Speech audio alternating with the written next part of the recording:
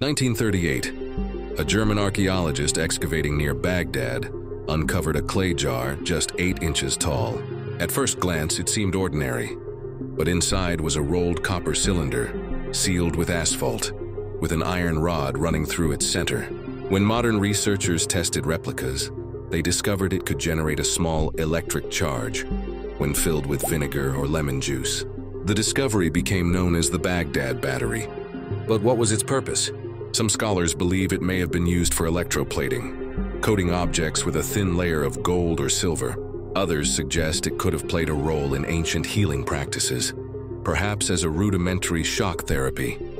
More speculative theories propose that this artifact hints at a forgotten understanding of electricity, a technology lost to time. Could it be evidence that ancient civilizations had far more advanced knowledge than history admits? Skeptics argue that the jar might never have been a battery at all, may simply have been a container for sacred scrolls, or even a kind of storage vessel.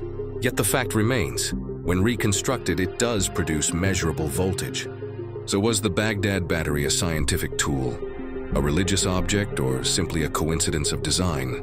We may never know the full truth, but its mystery reminds us how much of our past is still unexplored, and how ancient knowledge may hold secrets we've only just begun to rediscover.